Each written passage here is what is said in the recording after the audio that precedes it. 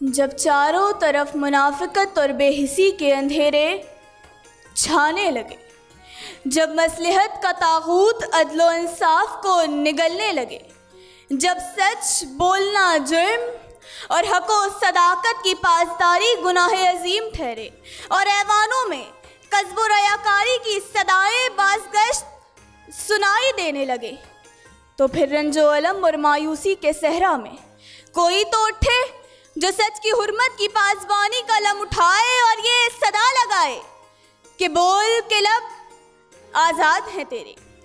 जीवाकार, तारीख शाहिद है कि जब कभी इंसानियत जिंदान बरबरीत के तारीख माहौल में तड़पती है तो सदा यही आती है कि है कोई जो ये एतराफ़ करे कि हम अहले कूफा हैं, जो हुसैन की शहादत के बाद खामोशी से फिर किसी हुसैन इब्ने अली की आमद के मुंतजर हैं कि वो वक्त याद कीजिए कि जब खुद नहर अलकमा के भी लब सूख चुके थे तपती हुई रेत पर प्यास से तड़पते असहाब अंसार जानिसार और यजीद वक्त के सामने जैनब रदी अल्लाह तु का खिताब कलमाए हक की गवाही और दीन हक का प्रचार बस दे रहा है। यही पैगाम कि बोल के लब आज़ाद है तेरे। जनाबे वाला, रेत पर तड़पते हुए बिलाल से लेकर रजान काबा तक, घर की नज़रबंदी से लेकर गारे सौर तक, हिजरत मदीना से लेके मार गए बदर तक, सफ़र ताइफ से लेके मार गए हुनैन तक, हज़रत इकबाल के ख्वाब से लेके कायद के फरमान तक यही पैगाम कि बोल के लब आज़ाद है तेरे।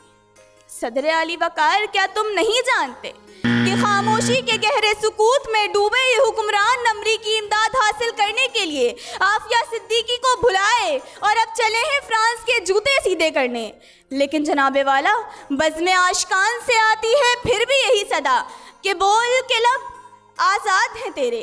कि जनाबे वाला, नकीबुल्ला और ऐसे कई लाशें, कोयटा के धमाके, हजारा की कुर्बानियाँ और नन्ही कलियों की पामाल इज्जतें झंझोड़ झंझोड़ कर कहती हैं कि बोल के लब आज़ाद हैं तेरे। ए नूरे खुदा नूरे बसीरत की तलब है। रमज़ान का सदका तेरी रहमत की तलब है। मख्फी हैं इसी माह में रहमत के करीने। गर्दाब से निकले हुए बख्शिश के सफी गोया है तेरे इश्क में हम सब बराबर। मजलिस को तू गुलदस्ता फिरदौस बना दे। रिंदों को सनाए शहलौलाक पिला दे। तू शम्मे कलम को यदे बेजाई अता कर। बच्चों को तो इफ्तार में तस्नीम अता कर।